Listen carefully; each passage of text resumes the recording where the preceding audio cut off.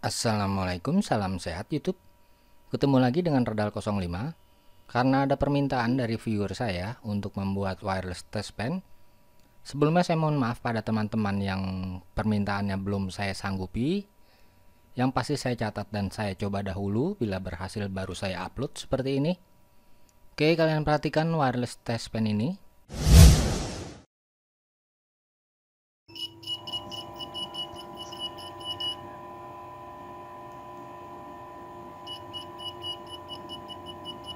Buzzernya sedikit tidak stabil. Karena baterainya ini sedikit soak di 7 volt.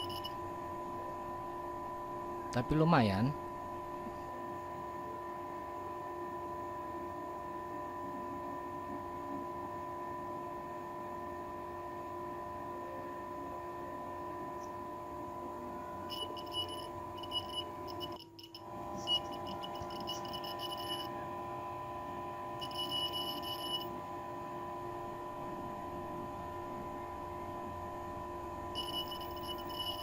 jadi bisa kalian coba-coba.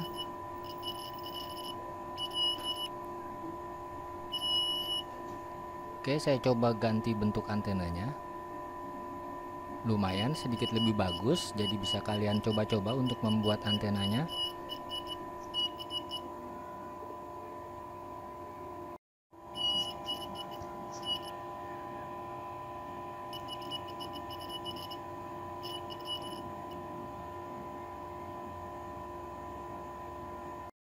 Sebelumnya kalian jangan lupa untuk mendukung channel kita dengan cara mensubscribe yang belum pernah tentunya.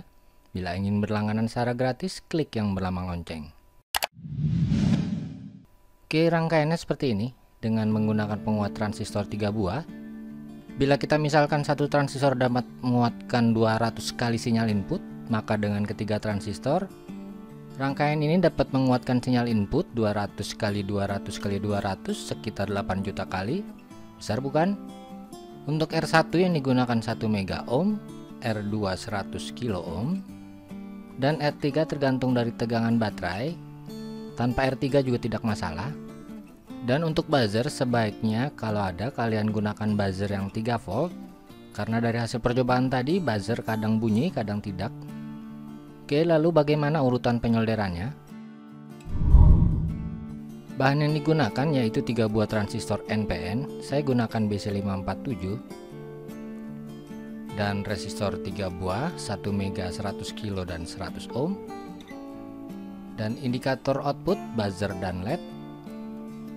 Dan baterai 9 volt sebaiknya kalian gunakan baterai baru saja. Pertama solder dahulu emitter ke basis ketiga transistor seperti pada gambar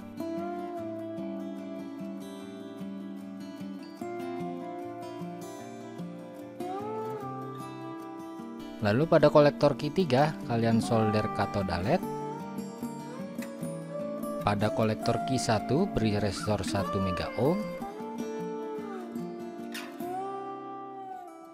Dan pada kolektor key 2 kalian beri resistor 100 kilo ohm.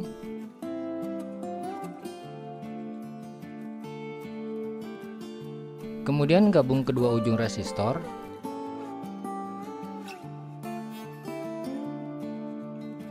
dan solder pada positif baterai. Lalu pasang positif buzzer ke positif baterai.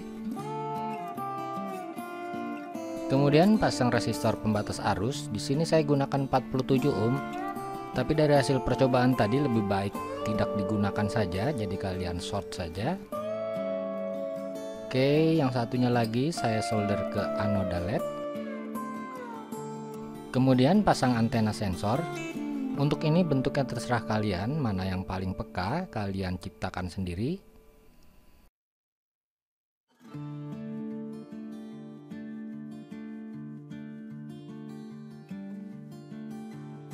Selesai tinggal menghubungkan emitter Q3 dengan negatif baterai.